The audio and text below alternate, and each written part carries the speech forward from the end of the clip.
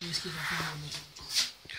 is the power management GUI and you can watch the all three phases here.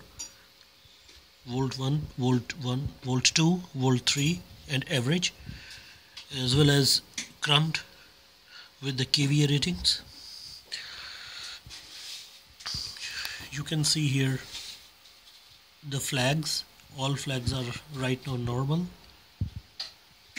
this is the fuel frequency site data and graph. Now I will demonstrate you when voltage will goes under or over. So the system will show real time the current status. Now this is the voltage drops and the screen shows it's yellow. And same here. And the voltage one is under. The flag is on. Now we are increasing. It's normal.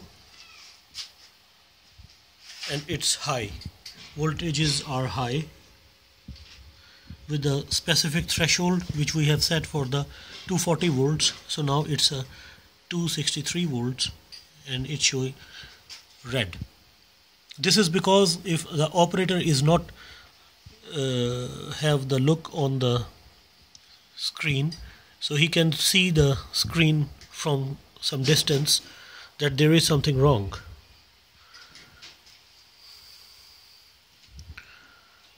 You can see the alarms right now which is very boldly mentioned on the screen and as well as on the flag side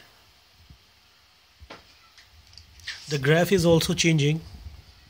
The average power is changing.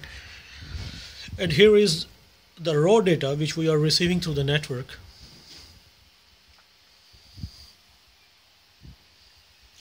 You can save this data as well by clicking this hard disk. You can save the data here on the SQL or on the Access or any other database. So this is the power management system. You can monitor the power real time. Now I will demonstrate the switches so you can control your appliances by this from remotely in the new video these are the logs generated by the system by the software and you can see that voltage 1 2 3 all phases are here as well as uh, the date time functionality graphs.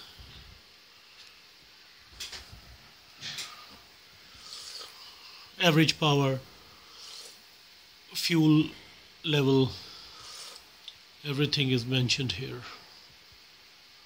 You can see the date timestamp the data is stored with the date timestamp with the site information and the running or stopped or like this.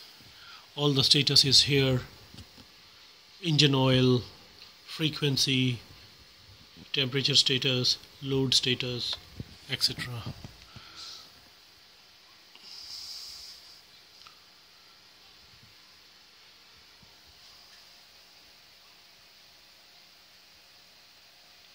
this is the last input we have saved in our database.